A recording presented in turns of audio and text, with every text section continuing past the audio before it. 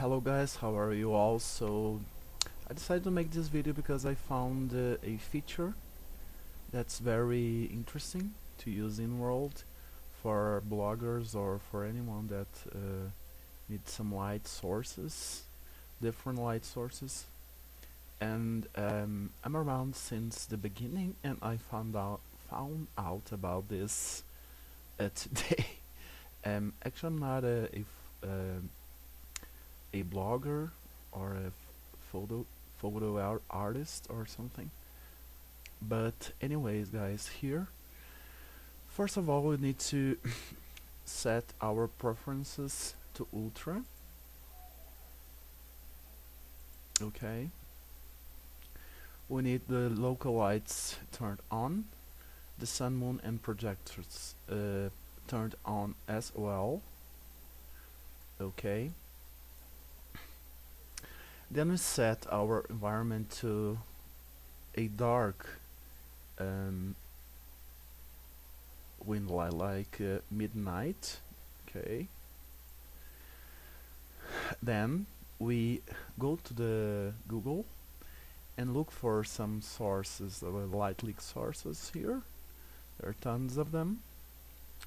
Okay I'll be using this one here that I have already uploaded um,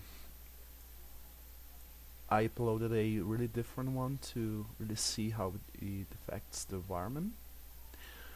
Anyways guys, it's really simple. You just res a prim. Okay. Just res a prim over there. Here in features you checked the light option. Okay. And here on this side I'm using Firestorm uh, uh, guys here. Okay. As well always. You grab the texture. And you put over there. Okay. You guys already see the magic happening here? And uh, as far as I noticed the light comes from one face only of the object okay? So you guys can play around with this. Um, let's put closer to our panel here. You can play around with this guys. Um, here are the um, the things that you can change. Okay how it affects the the environment.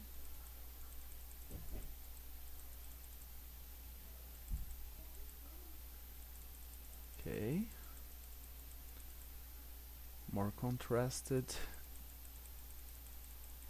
Okay, here.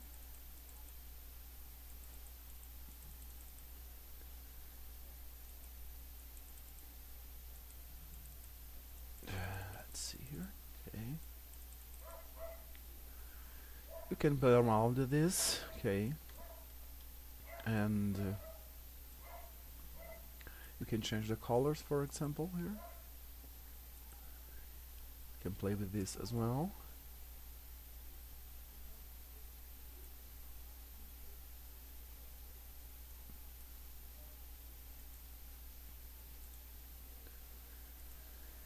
And that's about it guys. You can play around with this. You can make uh,